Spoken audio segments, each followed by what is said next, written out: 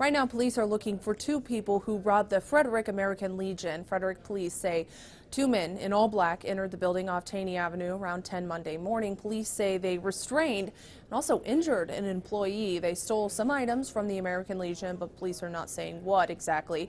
The men were seen fleeing towards the senior center. If you have any information on who they are or saw anything, please call police. Katie Johnston for WJZ.com.